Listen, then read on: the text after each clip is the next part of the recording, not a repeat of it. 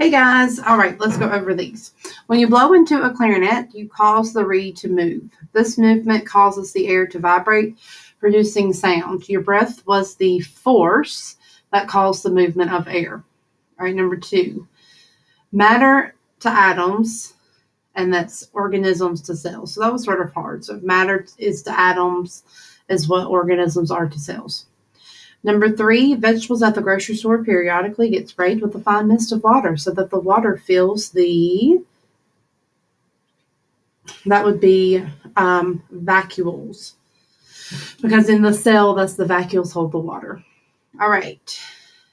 So we're going to say increase or decrease. A, if the temperature, as you go deeper into the water, the temperature decreases, the pressure increases, and the light decreases.